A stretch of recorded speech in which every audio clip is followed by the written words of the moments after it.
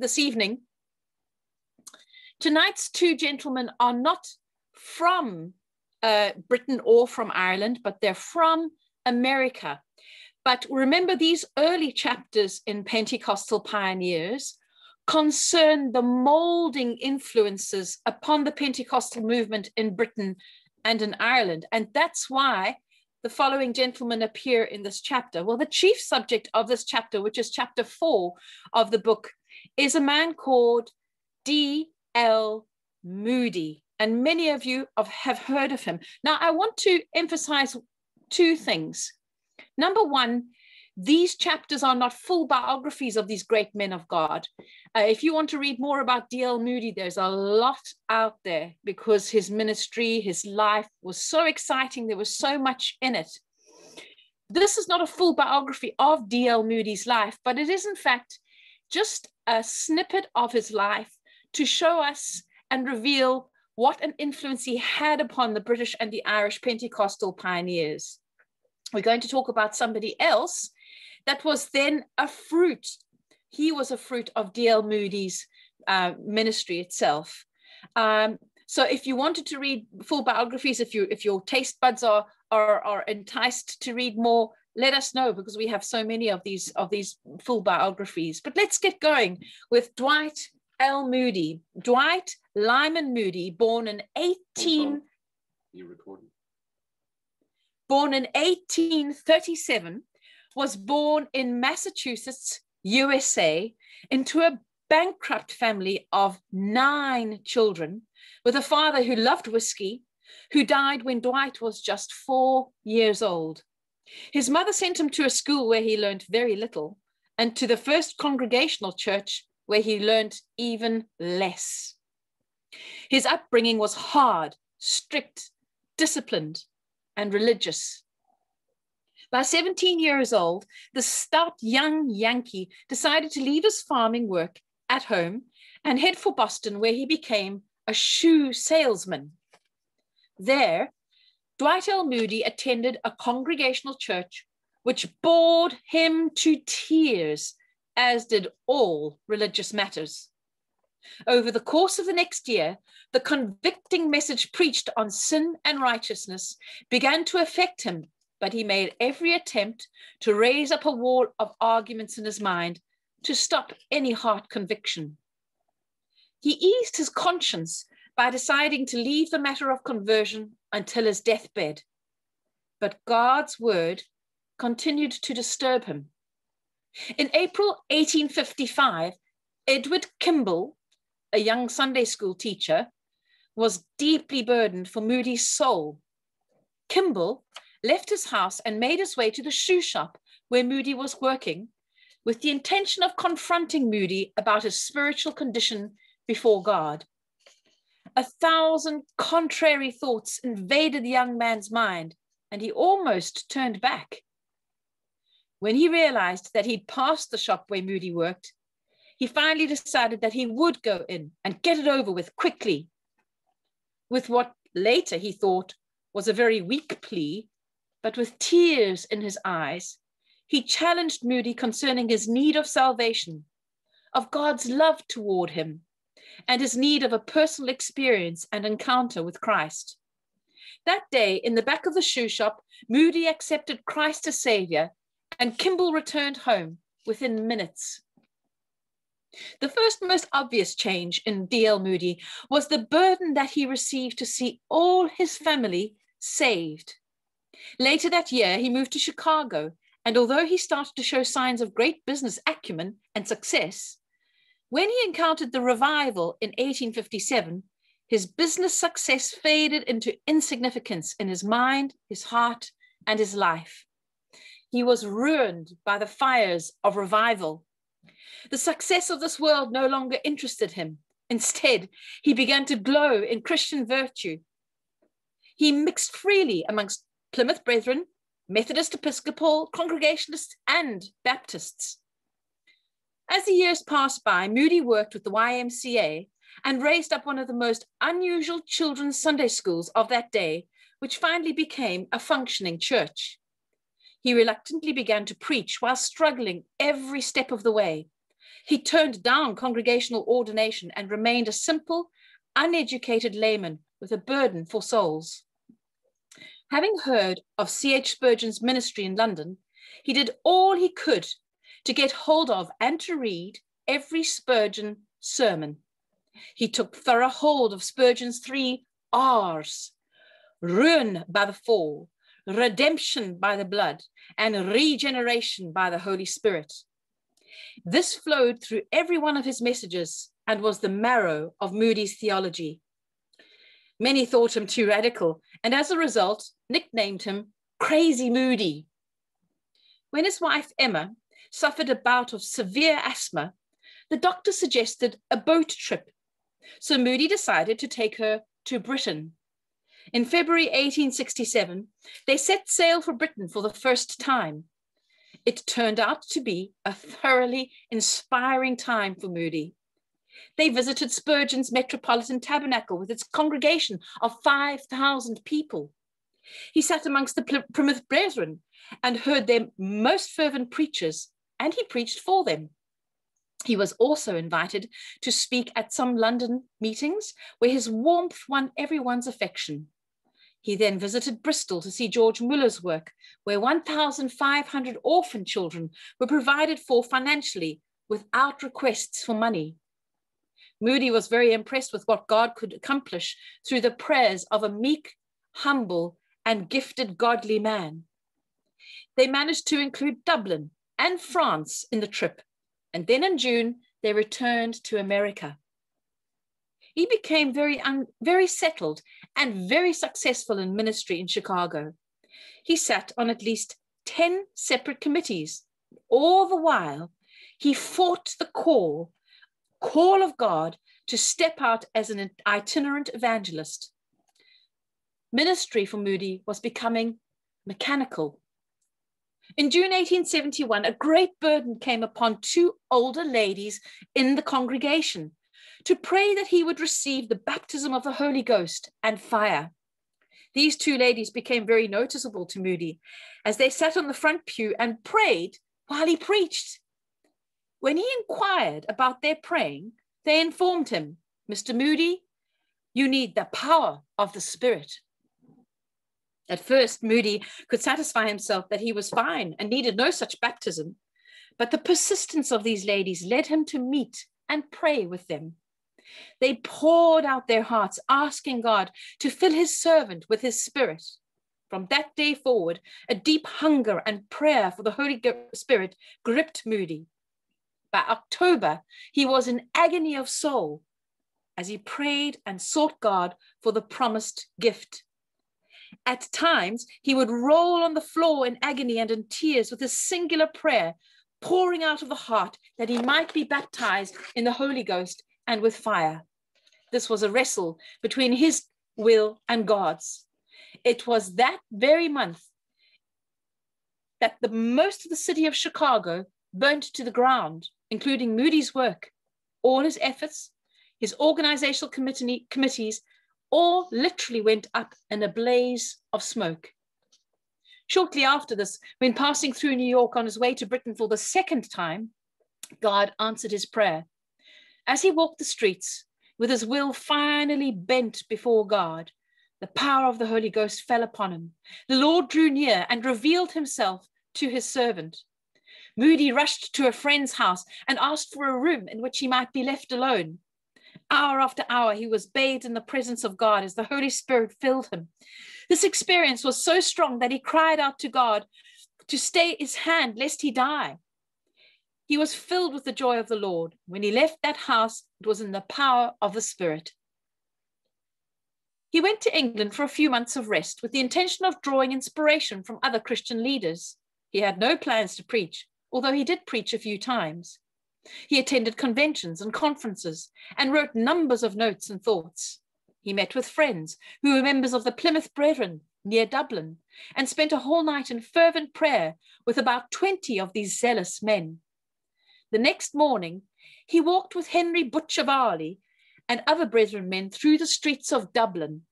That day, Varley said something to Moody which deeply impacted him. He said, Moody, The world has yet to see what God will do with a man fully consecrated to him. That night, as these words still reverberated in his mind and heart, Moody vowed that by the grace of God and the power of the Holy Spirit, he would be that man. All who met with him during this journey in Britain and Ireland were strangely aware that God was preparing this man for a great work and that he was forging him into an effectual instrument. Before returning home, he was persuaded by friends to preach at a congregational church in Arundel Square, London. The message came with real power. As a result of this one message, over 400 new converts were taken into membership during the following week. As other requests to preach reached him, he decided that he would return home and prepare to return to Britain for a period of six months at a later stage. In June 1873, he once again arrived in Liverpool, England, accompanied by his wife and his song leader, Ira Sankey. The key men who were leaders in finances and who had invited him to return with the promise of financial help and a well organized schedule had died since he was last there. There were no meetings, no funds, and no committees. All seemed lost. Maybe they would have to just return to America. Only one unattractive invitation came in from York in the northeast of England. With no other plans, the little band went to York. It was hard ground, but in the midst of these meetings, one unimpressed minister called F.B. Meyer slowly melted and then ignited with holy fervent fire. Meyer was transformed into one of the greatest preachers and writers in the land. Next, the evangelistic team moved to Sunderland for several weeks of soul saving meetings where God's power was manifest to change lives for all to see. In August, they journeyed on to Newcastle, where a daily prayer meeting was conducted with some 300 saints in attendance. News spread throughout the whole land that revival was coming to churches and that salvation was being received by hundreds and thousands of souls.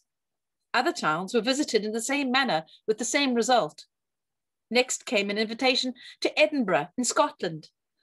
Only eternity will reveal the results of this revival, which started in November 1873. On the first night at the first meeting, 2,000 people had to be turned away from the building, which was already filled to capacity. Before long, Moody had the full backing and support of many great Scottish Presbyterian theologians, as well as most national leaders of every denomination. It was later said that the revival in Edinburgh was like a Pentecost to the land. Cold Calvinism gave way to fiery evangelism. This great city was startled out of its sleep and stirred to its very depths. In the new year, they travelled on to Dundee, Glasgow, and other places in Scotland. This was not successful evangelism. It was heaven sent revival when their nine months of ministry in Scotland came to an end. The revival burned on. In September 1874, they travelled to Belfast in the north of Ireland for five weeks of meetings like those in Scotland. Then onward to Dublin in the south of Ireland for a month, where several thousand were reported converted. These were some of the most remarkable meetings ever held in the south of Ireland. In November, they sailed for England and continued to minister in the main cities and towns. In March 1875, he moved to London to start a four month campaign where he reached the rich and poor, the famous and destitute, princesses as well as paupers. Initially, attendance amounted to about 16,000 people, but it is estimated that in the end, around one and a half million people heard him in this chief of cities. After one very brief visit to Cambridge University, he returned home to America and did not come back again until 1882, when he ministered once more in Ireland, Scotland, Wales, and England. In November 1882, when he spoke at Cambridge University, he was filled with great anxiety. This was the educational center for Britain's aristocratic and wealthy youth and had a reputation of unparalleled riotous behavior. The first night at a prayer meeting, Moody spoke on the Spirit's power for service. The university vicar, Handley Moore, was somewhat nervous. The young unsaved C.T. Studd greatly doubted if this Yankee was up to the task. At that first meeting on the Monday, there were 1,700 students in attendance. As Sankey sang his sacred hymns, they jeered and laughed and shouted. When Sankey finished, he was near to tears. As Moody preached on Daniel in the lion's den, how appropriate, again they laughed, shouted. They did all in their power to disturb him, but Moody maintained his calm. By the end of the week, at least 200 students had accepted Christ as their savior. Amongst them was the main ringleader, who later went as a missionary to China and became Bishop of Hong Kong.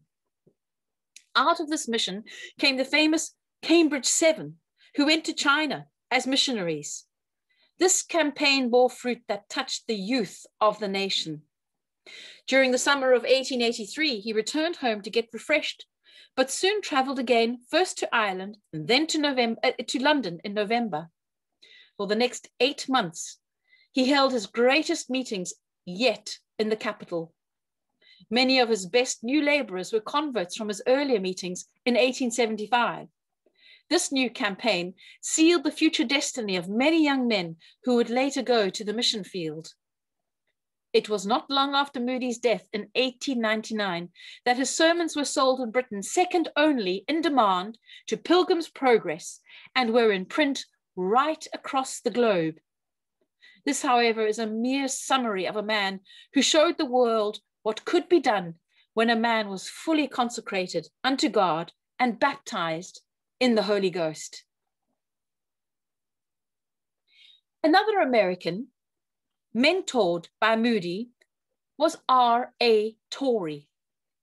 R.A. Torrey followed Moody's example in dynamic evangelistic ministry the very well educated Torrey was delivered from German higher criticism, from biblical criticism and liberalism, and converted to Christ and to a full belief in the inspired truth of the Bible.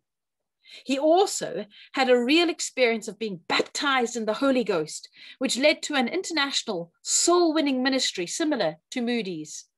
There is no doubt that he took up the mantle that Moody left behind. Between 1900 and 1907, Torrey campaigned across many nations in Europe, with calls coming from many leaders in New Britain.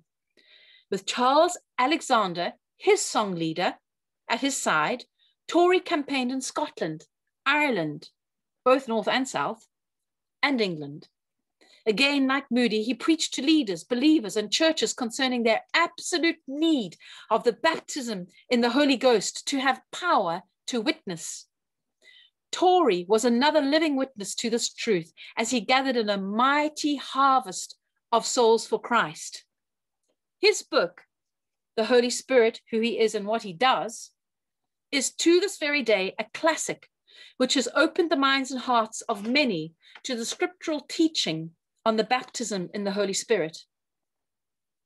This book was handed down to Keith from his grandparents he can clearly remember reading this book in his teens.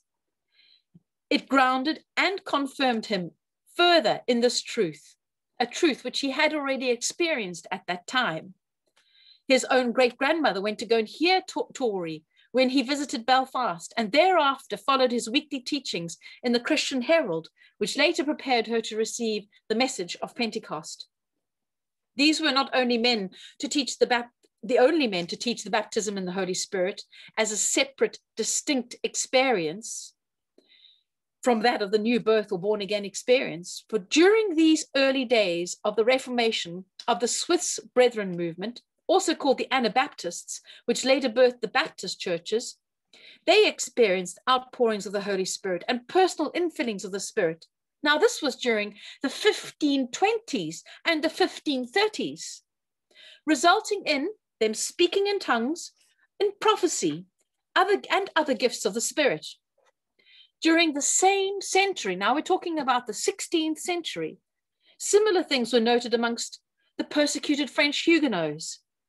Some of the foremost English Puritans, such as Richard Sibbes, Thomas Goodwin, and John Owen, taught of a sealing and anointing of the Spirit, which was a separate and distinct from the indwelling of the Spirit at the time of salvation. Others, like George Fox, Charles Finney, A.B. Simpson, and a host of other godly leaders, sought and experienced what they called the baptism in the Holy Spirit. Later, after the beginning of the Pentecostal revival, there were still those outside this new movement like W.P. Nicholson, Rees Howells, Billy Sunday, James A. Stewart, James S. Stewart, Oswald J. Smith, Duncan Campbell, and Martyn Lloyd-Jones, who all taught the necessity of a definite baptism in the Holy Ghost. No matter how hard evangelicals and fundamentalists fight this truth of the baptism in the Spirit, they will never quieten the voice of John the Baptist, ringing down through the centuries, saying, He shall baptize you with the Holy Ghost and with fire. It is worth noting that Moody and Torrey were certainly among the main founders of what later became known as fundamentalism. It was a movement which made a steadfast stand for the basic, fundamental, or foundational doctrines of the Bible in an hour of increasing theological apostasy. In those days, it was taken for granted that a genuine Christian was fundamental in all his basic beliefs.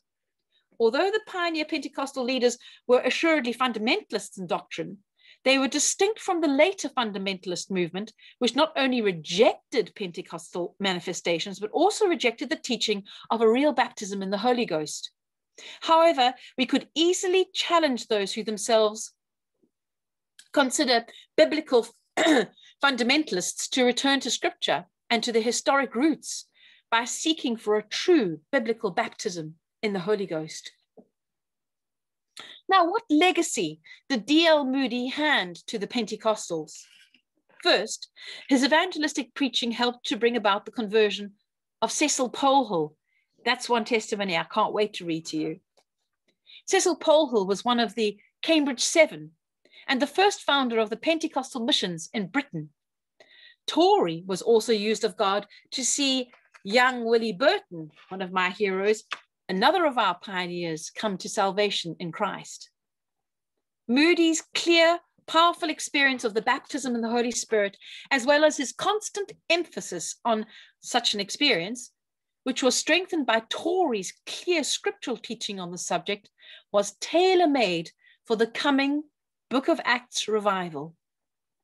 Moody frequently told Torrey to preach on the subject, especially to those seeking to serve God.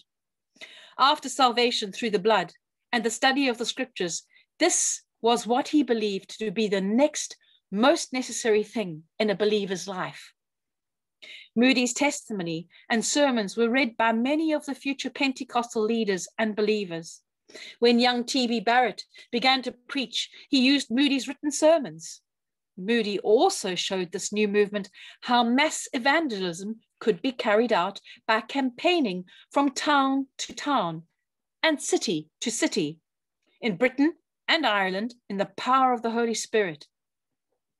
He defined and exemplified the ministry of the revival evangelist. Moody's whole life, message, and ministry were readily and agreeably received by the new Pentecostal pioneers. Moody and Torrey gave a clear understanding to the Irish and British Pentecostals that the primary purpose of the baptism in the Holy Spirit was an empowerment for witness, for service in the local church, the local community, and for missionary activity abroad. They emphasized the absolute necessity for each believer to be baptized in the Spirit as a real, definite experience in order to receive power for service. Another aspect which left a mark on the early Pentecostal movement was the fact that Moody had a song leader called Sankey and Torrey had a song leader called Alexander. These song leaders sang the gospel with full hearts. They sang songs full of biblical doctrine, laying out the suffering work of Christ on the cross in bleeding and dying for sinners. They wooed sinners to salvation in Christ by song.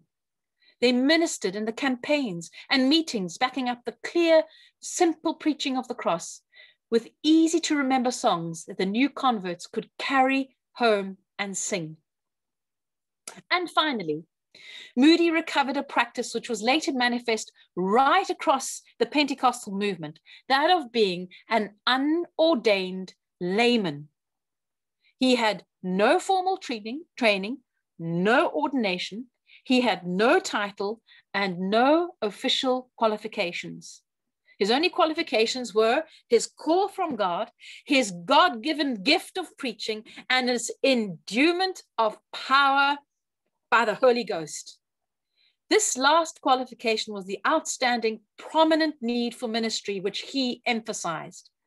A man can be trained, a man can be educated, a man can be qualified, respected, followed. But if he is not anointed from on high, all his preaching and labors will be in vain. Our Pentecostal pioneers did not despise training or education, as we shall see in the following chapters. But they did gain a healthy, balanced perspective through the God given ministry of Moody. Today, an unhealthy emphasis on higher education, historic studies, or educational degrees or qualifications has crept into the realms of Pentecostal denominations as a reaction against the unbiblical, spirit centered, manifestation oriented theology, which since the 1960s has gained prominence within Pentecostal churches. These opposite extremes, with their wrong emphases, have moved the Pentecostal churches in the wrong directions. It is time to come back to a biblical experience of true Pentecost based upon a sanctified biblical intellect. Amen.